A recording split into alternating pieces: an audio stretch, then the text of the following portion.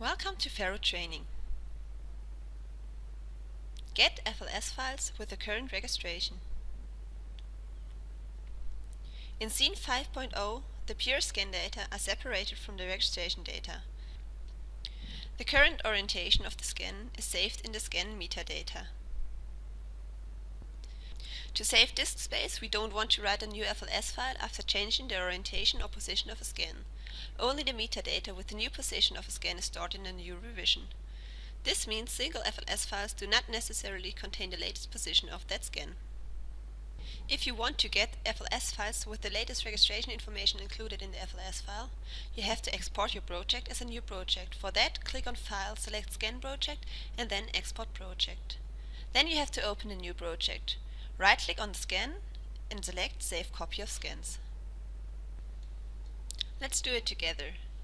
In this project you see the registration information under the scans.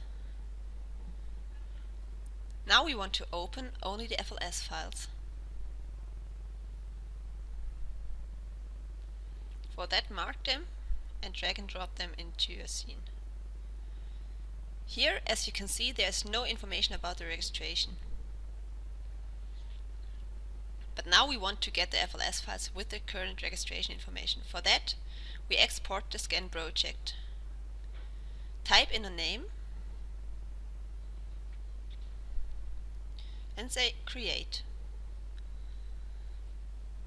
Now the project was exported.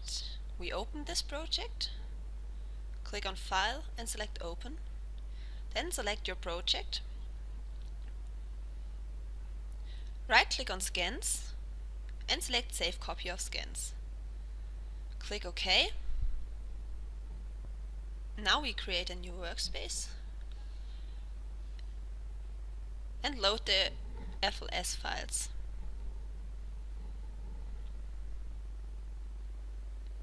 And if we unfold now the scans, you can see here the information about the registration is in the scans.